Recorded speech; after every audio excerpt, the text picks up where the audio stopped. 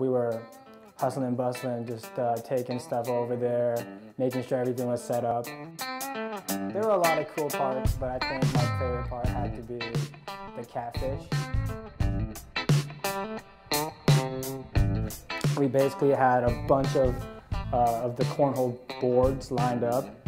I know that there were like 120 teams, um, and those are just the participants. I think other people came too. Big long event where we had uh, a huge cornhole tournament happening, lots of catfish and corn dogs being fried up, tons of beer, lots of people out there. It was a really great event.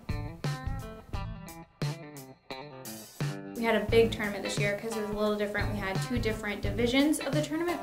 Competitive division was like all of the people that were, they kind of do it for more than just for fun. They're a little bit more competitive. Um, the amateur division was just people there to have fun and hang out and play some cornhole.